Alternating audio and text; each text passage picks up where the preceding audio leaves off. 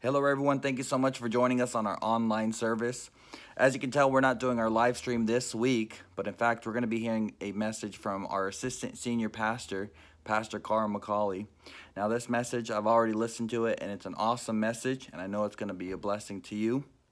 And so, whatever you receive, if you would, uh, put it in a comment section. Uh, I'd love to know your thoughts and, and hear what you received from it. But I want to do this. I want to take some time to pray and then after I pray, uh, the message is going to come on. Father, I thank you that uh, you're here with us. And as we listen to the word, I thank you, God, that you're going to speak to us, that you're going to give us a message that's going to encourage and teach and even open our eyes to some things. Lord, we receive your word. Our eyes are open, our ears are open to what you have to say and what you have to show us. In Jesus' name, amen. Let's go to the book of John and chapter number one. Just want to read two verses of scripture because when we read those verses the first time we were reading through John, something jumped out of the page. And, and I think, particularly in the environment that we're in, it is important to at least see what the Lord could be teaching us or showing to us right now. I like to go to John chapter 1, verses 45 and 46. And I know that we're reading out of the ESV. Um, uh, but I didn't have the ESV last night. I did have the New King James Version. So uh, we're going to read out of that today. And uh, hopefully, well, Pastor Jerry's watching, so I guess I can't say you won't tell him next week that we read out of the wrong translation, all right? But let's go to the New King James Version, just two verses of scripture. And it starts at John chapter 1, verse number 45 and 46. Can we all read? I believe we all have the New King James. If you don't, you can read whatever translation that you have. And if someone asks what they heard, we'll just simply say we're speaking in tongues, all right?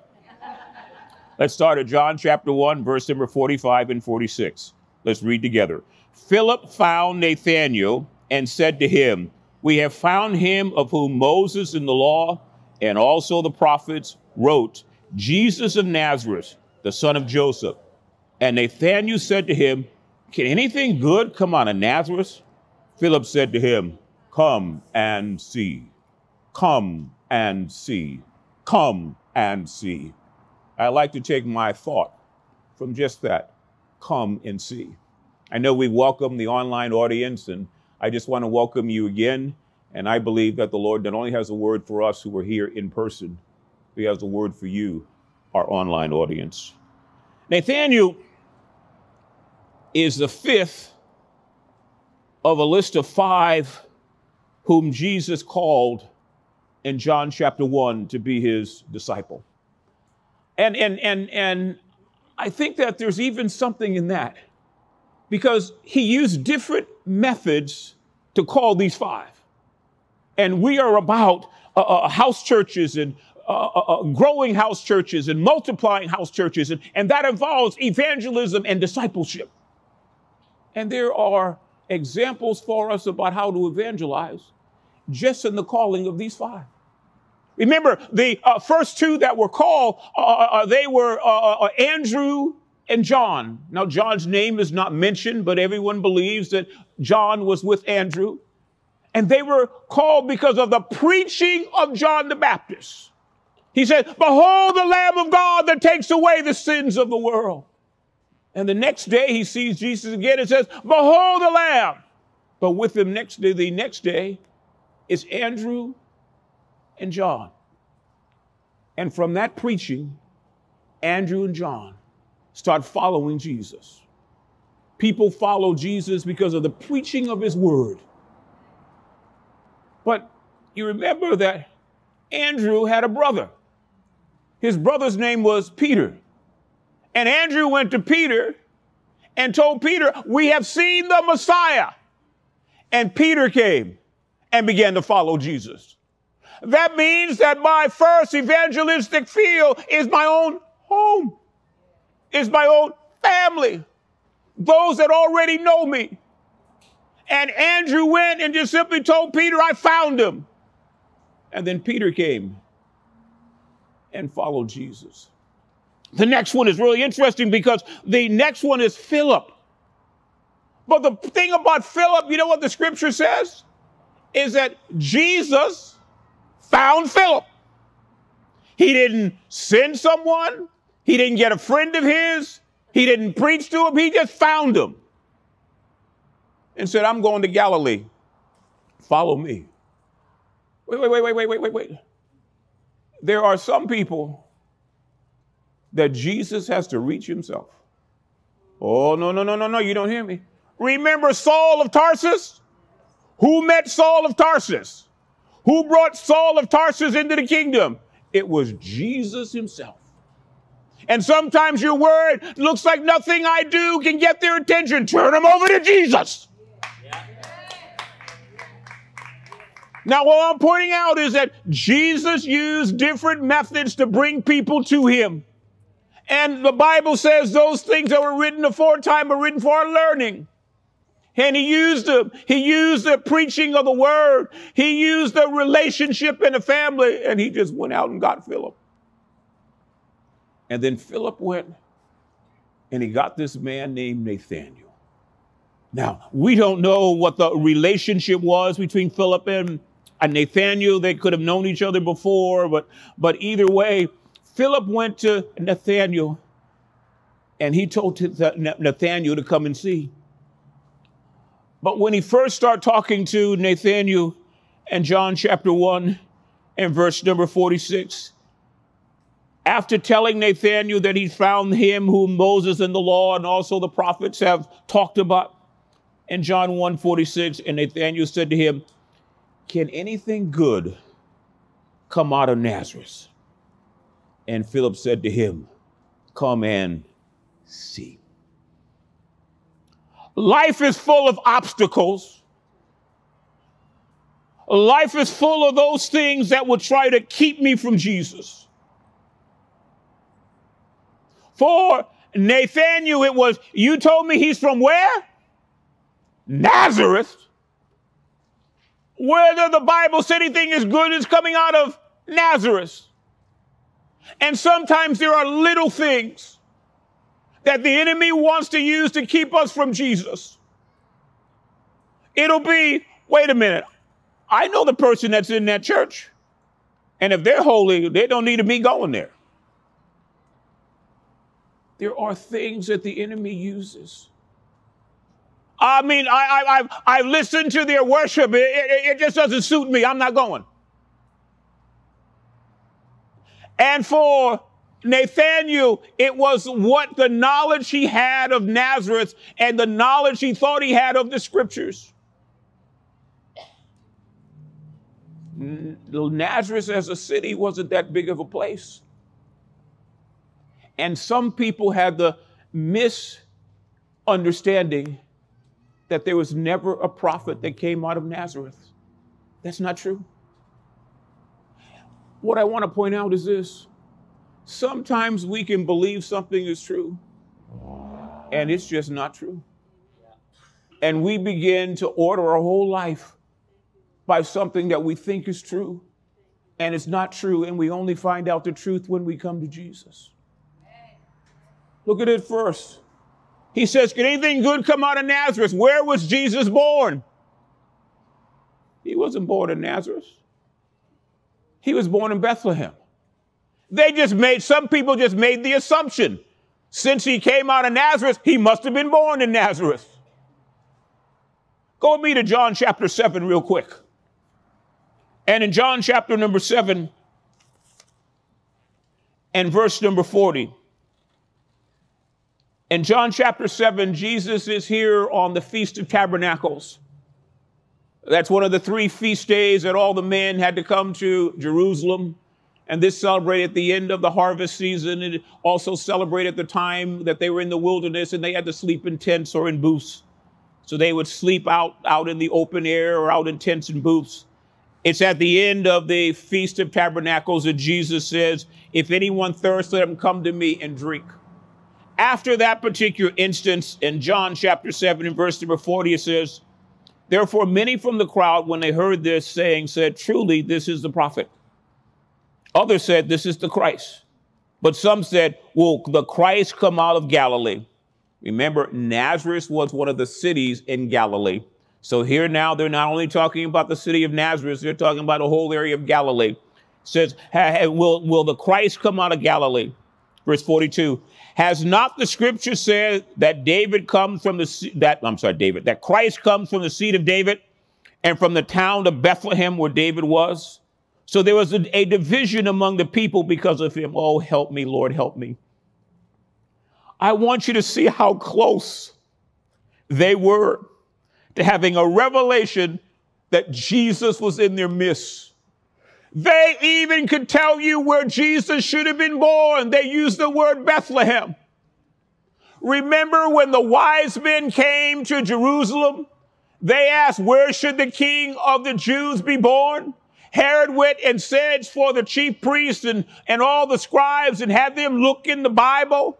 And you know what they said? He should be born in Bethlehem. So guess where the wise men went? They went to Bethlehem. But who else went to Bethlehem? Nobody else went. The ones that knew didn't go. So just because I know something, if I'm not applying it or using it, it doesn't bring anything to my life. They didn't go. So they never saw him. But, but, but wait, they know where Jesus should have, should have been born, but they never asked Jesus, Where were you born? They just made the assumption, Oh, no, no, no, Lord, I wish I could make it as clear as you're making it to me. We are living in a time and age where there is so much information and very little truth. Everybody has an opinion. And everybody can go to some website and show me why their opinion is right.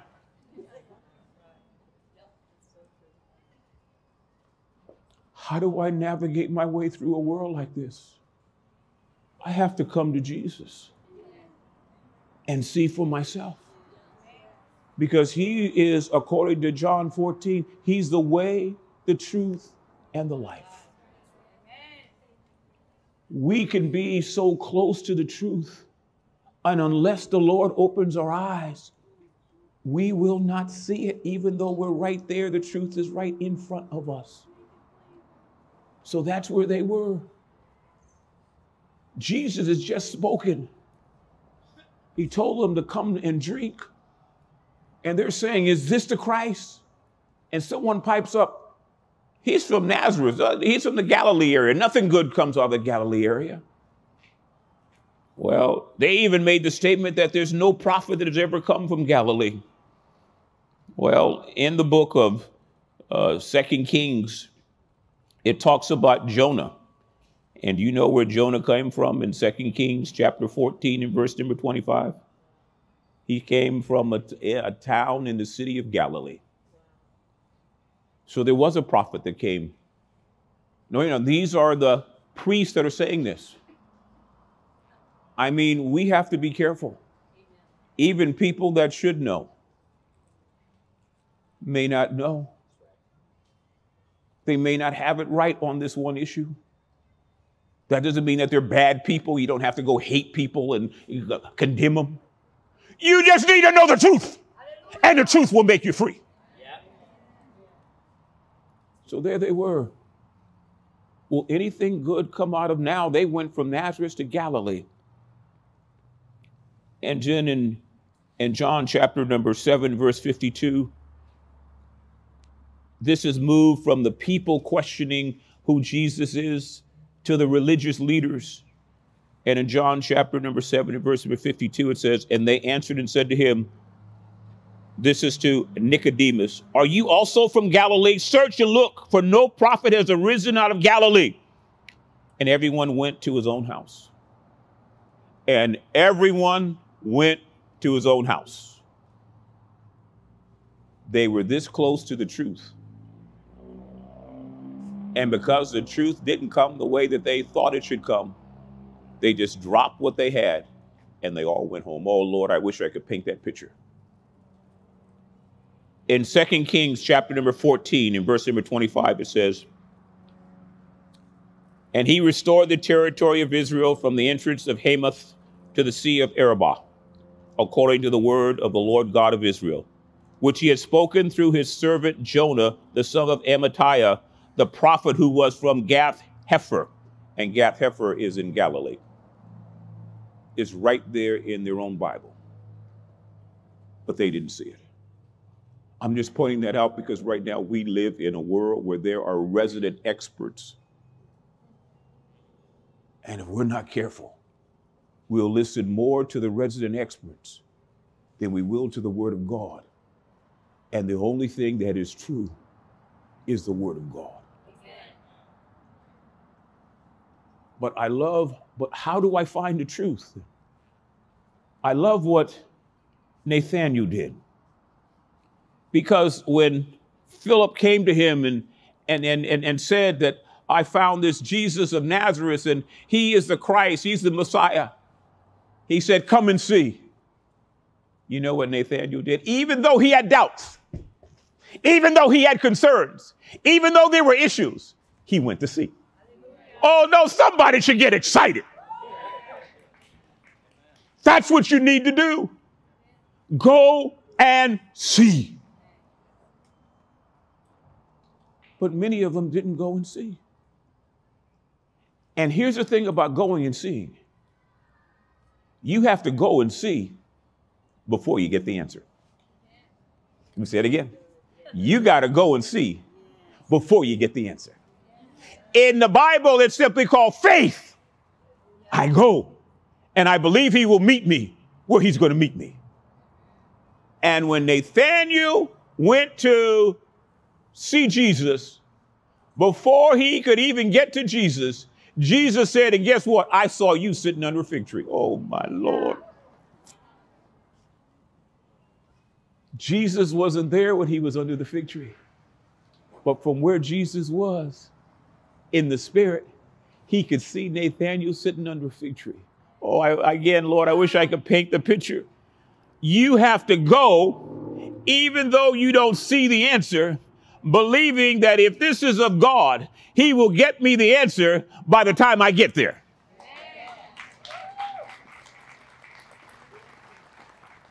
Let me tell you a little story. I got saved at the age of 28. Uh, I started working as an engineer at 22. So it's about six years after I, I became an engineer.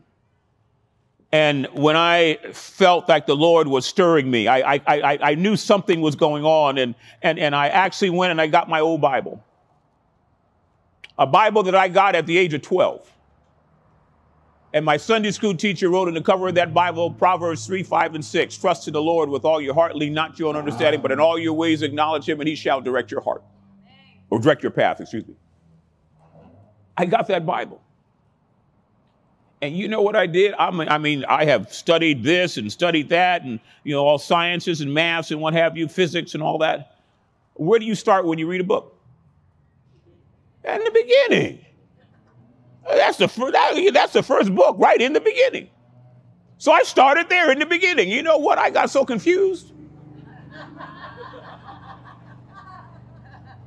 I said, wait, wait, wait, wait, wait, wait, wait, wait, wait. I mean, this guy Methuselah he lived to be 969 years old. We can get, barely get people to 100 nowadays. How did he live to be 969 years old? That became my stumbling block. I said, I can't go any further until I get the answer to this question. no, seriously. They were offering baptism, and I can, yeah, you know, I, I understand Jesus is my Savior, but wait, but I got a question here. Until I get that question answered, I can't move. Now, remember what I just said? Sometimes you have to go without getting the answer until the answer comes. And I, rem- I was battling. And one day I was in a card shop. Now, I was seeking the Lord. I said, Lord, I, I believe that you're uh, calling me, and I don't know what all this means, but everything I know to do, I'm going to try to do it. And if you correct me, I'm going to try to follow that. And I was seeking the Lord.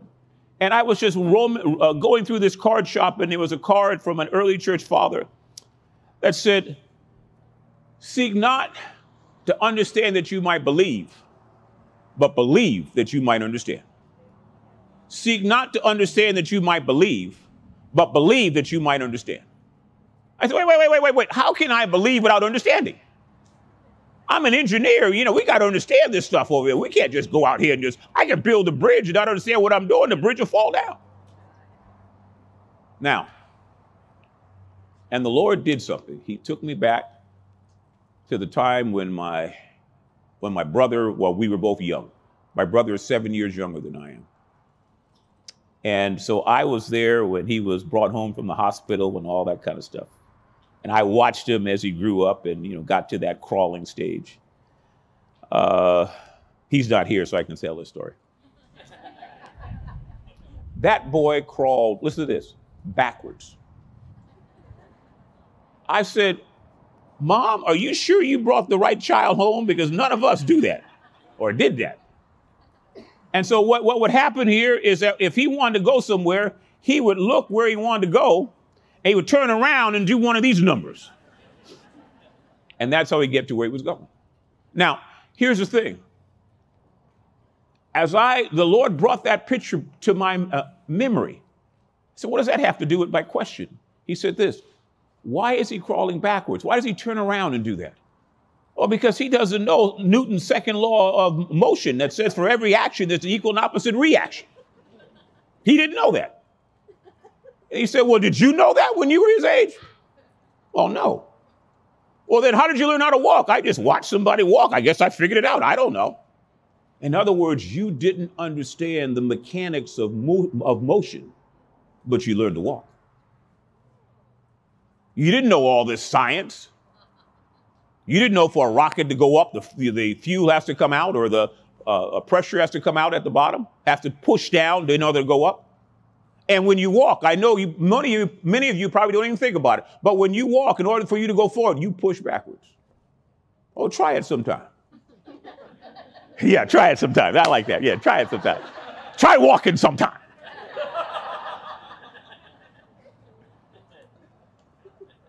But you don't need to understand all that. And the Lord says, You don't need to understand everything about me to receive me as being me. I am God. And then he began to tell me, and if you understood everything about me, I wouldn't be big enough to solve your problems because you can't solve the problems you got.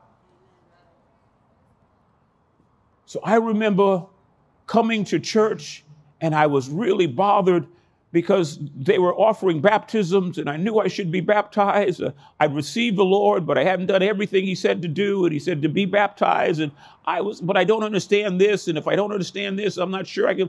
And He says, This is what faith is all about. Hallelujah. Do you believe that I can know more than you know? Yes.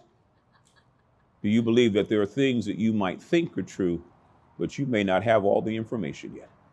And I have it. So I went down and I got baptized. And you know what happened after I got baptized? All of us, oh, somebody said what? Good. Good answer. Good answer. What?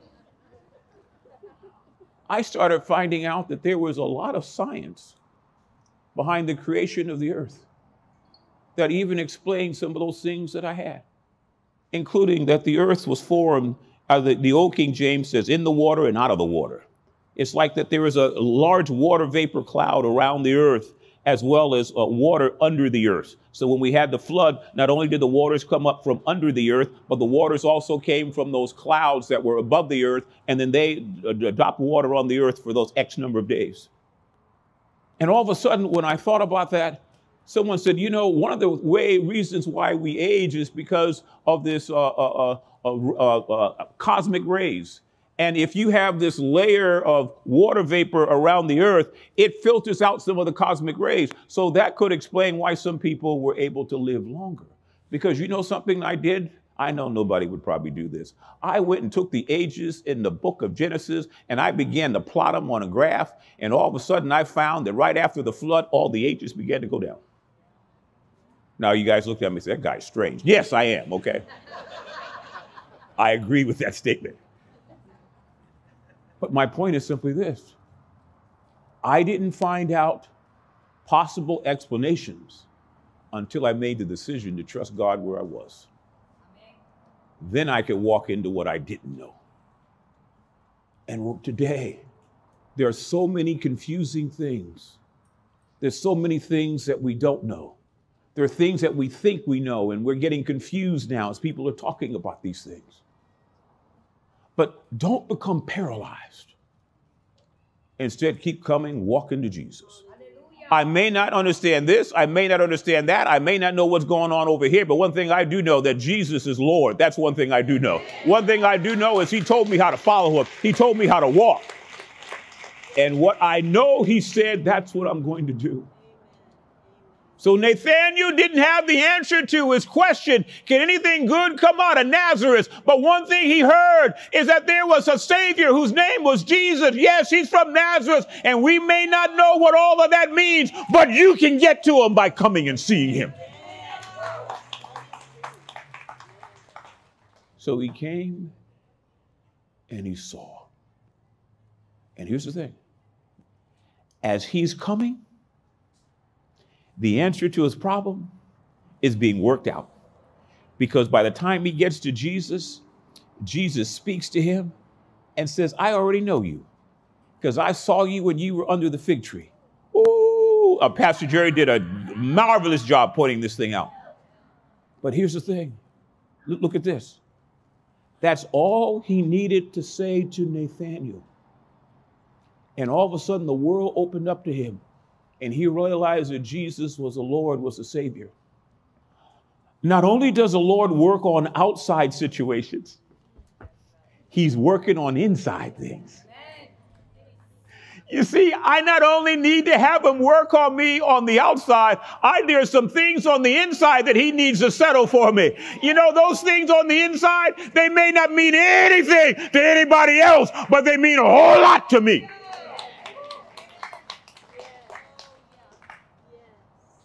So Jesus says, I saw you under the fig tree.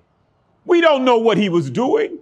Pastor Jerry did a marvelous job painting a picture of what was going on or what might be going on. He was there searching for answers and wanting to know does, does anybody see me? Does anybody hear me? I'm, I'm praying and I'm asking, but I don't feel anything. I don't see anything. But all of a sudden, Jesus says, I saw you. But there was nobody around. That's what I'm trying to get you to know. I saw you. And for each and every one of us, if we will continue coming and seeing, there are answers to questions that we haven't even posed yet, that the Lord has already worked out. But we only get the answer as we're coming and seeing as we are approaching Him. Like I had to do when I gave my heart to the Lord. Said, I don't understand all this, but what I do understand is this. And I can act on that and believe you to take care of the rest. Has anybody else ever been in a situation like that? That you didn't have all of the answers? Everything wasn't worked out? There wasn't a contract that you had to sign on the bottom to know exactly what was going on? All that he asked you to do was to trust him Come unto me, all ye that labor are heavy laden, and I will give you rest. Take my yoke upon you and learn of me or learn from me. For my yoke is easy and my burden is light. That only is experienced when we come to him. And he has a rest for us. He has answers for us. But we won't find them by staying on this side. We won't find them by going further away from him. We won't find them until we start walking toward him using what we do know. And as we walk toward Him with what we do know, then He opens up to us things that we don't know. He opens up to us places that we have not been. He begins to answer some of those things that are caught or that are stuck within our hearts. I remember, well, maybe I shouldn't tell you. This is a, okay. I got to check my wife's face before I get ready to say this. I remember when the Lord talked to smart man, very good. Sorry, online audience, you didn't hear him. He said, smart man. I look at my wife's face before I say something. Okay, there we go. I said, somebody says that right. Uh, but I remember, I really didn't know what love was all about. I get an amen from my wife. Oh, my Lord, help us, Jesus. Help us, Jesus. Help us, Jesus. Help us, Jesus. And so I said, Lord, I don't know what this is all about. And the Lord says, Don't worry. Just do what I'm telling you to do. And I remember I went to church and I said, I don't know anything about all these Sunday school classes and all that sort of stuff. I don't know about that. Someone said, Well, we need somebody to tutor. Tutor in what? Math. Oh, I can tutor in math. I've, I've done a lot of math. I can tutor math. So I start tutoring in math. And there's this young lady that they told me that she's getting ready to take this test and she just like to re- refresh herself with the test. I said, okay, that's fine. And so I said, yeah, I'll, I'll, I'll, come down to the church on, well, what day you want me to come down? Yeah, come down. So I came down to church on that day. She's supposed to be there at a certain time. Uh, 15 minutes passed. Half hour passed. An hour passed. And I called and found out she was never coming. Oh, you want to know who that was? I, I can't tell you right now. well, we set up another time. And we came. And she said, I'm getting ready to take the final. I said, okay, that's good. That's good. So let's go to, to the end of the book and we'll do a few problems at the end of the book and, you know, I'll see what I can help you. Went to the end of the book. Found out, didn't really know what was at the end of the book. So let's go back one chapter. Not quite sure what was in that chapter either. Let's go back one more chapter. And that one was a whole lot fuzzy. So why don't we just close the book? And we spent about two hours, was it? Two and a half hours. And we talked from the beginning of the book to the end of the book. I think you got a C or something, right? well, I, oh, a B. Okay, a B. Okay, she got, she said, I like that. She said, I got a B or a C, but let's choose a B. We'll, we'll, we'll stay with the B, okay? That makes me feel better as a teacher. She got a B. But my point was, I met her. And then all of a sudden, her car failed. And remember now, the Lord says, I'm going to show you love. And her car failed, so I had to drive 45 miles into church. So I passed by her house on the way there. So I would say, okay, I'll just pick you up and take you to church. Uh, she had four children. So we crammed five of them in my car. Well, with me, it'd be five. With her, I guess it'd be five too. And do you know what happened? She had kids that needed some help with their schoolwork. That's all I could do. I didn't know anything about Genesis, Exodus, Leviticus, Numbers. I didn't know anything about those things then. And you know what began to happen? A man that didn't know anything about love, love was shown to him, and opportunities was given to me to express that love. But it only happened because I went as far as I could go with what I had. And the job of the devil is to get me to stop back here because I don't know the next step. It's not that I, Lord said, can you take the step I'm asking you to take? Yeah, but Lord, what about, don't worry about what happens after that. Come and see. Come and see what I will not do for someone who comes toward me, for someone who's willing to trust in me. I will take their world and shake it upside down, and I will do something. I will plant their feet on solid ground, and I give them a song that even the angels can't sing. That song is I've been redeemed. I've been redeemed. I've been redeemed by the blood of the Lamb.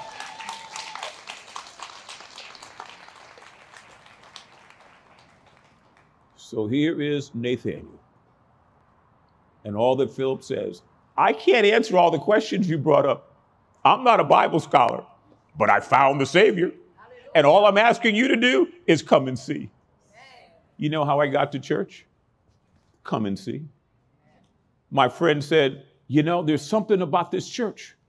They're talking about Jesus and they're talking about the Holy Spirit, and it's just causing things to change on the inside of me. I think you should come. I said, Look, I ain't got no time for that, man. I'm, I'm, I'm, I'm doing all right. I got a job, I got a car, I got a place. I'm doing all right. Forgot about hell, okay? I'm doing all right. Then he said this You've always told me that you could go and listen to anybody at least one time. and then you could make up your mind if you should come back. He said, Come and see this. And I remember going to the church. Wait, wait, wait. I sat in the last seat in the back.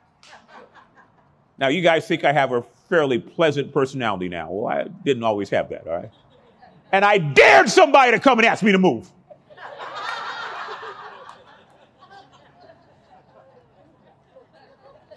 And at that first service, I can't remember all the details, but I know that the minister got up and he ministered that there are different kinds of people. There are people that are sick and don't know they're sick. There are people that are sick and know they're sick but not seeking any help. And then there are people that are sick and are seeking help. Which one are you? I had just finished my five year plan. I was strange back in those days. I had a five year plan. And on my five year plan, I would write down all the things that I uh, need to do. And then I'd write beside them the probability of me doing them. And I still remember that list. And one of the things on that list was I should go to church. I said, Yep, you're right. Then I wrote down the probability. I put down, You got to be kidding me. but the Bible says if you have faith, the grain of a mustard seed, and the Lord honored the fact that I would even write it on the list. And that same year was the year I got saved. There was no door open when I wrote that list. But all of a sudden, things began to fall into place. And I met Sister Terry Thomas.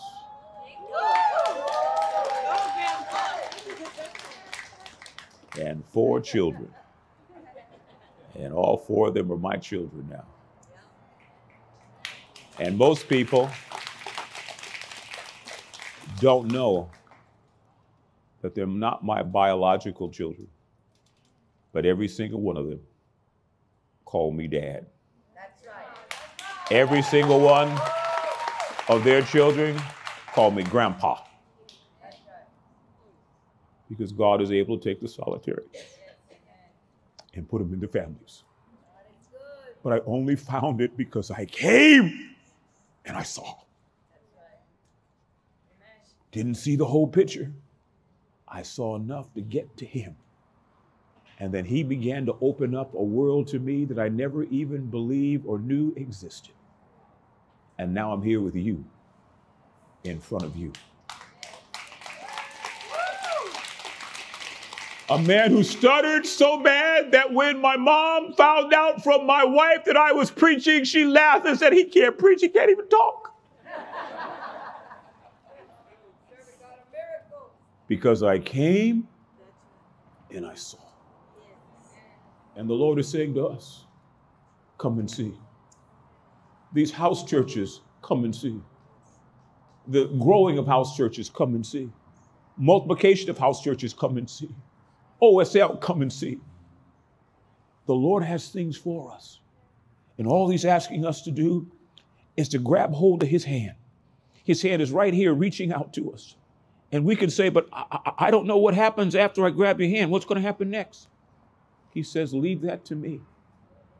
That's what Nathaniel did. And he was one of my disciples. He saw the dead raised to life, he saw me walk on water. He saw marvelous things. How did it start? He came and he saw. In the midst of his doubts, in the midst of things he didn't understand, in the midst of things that might have been confusing to him. Only thing I know, you said, Come, and I'm coming. Isn't that what Peter said? And he wound up walking on water because Jesus says, Come. And he's saying, Come to us right now wherever you are. If he says, Come, even though you don't see how you're going to make it, trust him. If we have faith, the grain of a mustard seed, we can say to this mountain, Be removed, be cast into the sea. If we don't doubt it in our hearts, it'll be cast into the sea. Let's believe him. And let's bring everything to God in prayer. I can't believe CNN NBC, whatever all those other things are. Because nobody knows the end from the beginning. And some things, in order for you to understand them, you need to know what the end of the thing is. None of us know the end of the thing. But Jesus does. He says, Grab my hand, and I will guide you. I will lead you. Don't worry about what you don't know. Just act on what you do know. And I'll grow you into what you don't know. Because I'm a faithful God. I'm a father. I'm a savior. I'm a deliverer. Can we bow our heads? Those of you that are on the online audience, can you bow your head as well? Father God, there is a whole lot of detail that we could share. But sometimes you don't want to want us to cloud the issue with all kinds of details. You just want to make the message clear. Clear into those that Jesus called in the book of John in chapter number one. They just responded to come and see. Whether it was Andrew or John, whether it was Peter, whether it was Philip, whether it was Nathaniel. And when they came to you and saw what you had, their lives were turned upside down. They experienced things they'd never heard or seen before. The most important thing, they found eternal life through Jesus Christ. And Lord, we thank you that that eternal life is available to us right now. I believe that there are people under the sound of my voice, whether they're here or online, that I do not know. But like I was holding back on giving my heart to the Lord because I had questions. What about this? This one said this. It didn't turn out that way. Now, what about all this? And they're holding back from giving their heart to you. Help them, O oh Lord, to realize there will always be things we don't know. There will always be things that we do we don't understand. But can we settle this? In the beginning, God. Can we settle this? In the beginning was the Word who was with God who was God. And the Word became flesh and dwelt among us. Can we settle this? That I have a sin issue, which is nothing I, and I, there's nothing I can do about that on my own. But I can receive a Savior who became like me, but without sin, and died for me. Oh, I pray if you're here today, and if you have not received Jesus, particularly if it's because of all the things you don't know, you will take what you do know that He is the way, the truth, and the life, and that you would receive Him even right now. And then those of us who know the Lord, I know that we have crossed that hurdle, but there's always things that the enemy wants to put, that life wants to put, sometimes even myself, that are roadblocks in the way of me doing or being all that God has called me to be. But today, Lord, if you reveal one of those things to us, we give it back to you and say, Lord, help me over this hurdle. Help me just to rest in what I do know about you and to trust you to bring me into life and that more abundantly. Because that's what you have for those of us who know you. You have abundant life, not just life. And if we're settling for anything less, let us repent of that, confess our sins, and move on with you. Every day, there are decisions that need to be made decisions about removing roadblocks, barriers, stumbling block. And we do it by coming to you as far as we can go with what we know and let you build in us the things that we don't know. We thank you, Lord, for the love that you have for us, how you've never called us to do or be any more than what we can do or be. But if we do what we can do and be, you promise that you will come on the other end and open up a world and possibilities that we never considered. I lift up our house churches, O oh Lord. Let them grow and let them multiply. I lift up our discipleship, O oh Lord.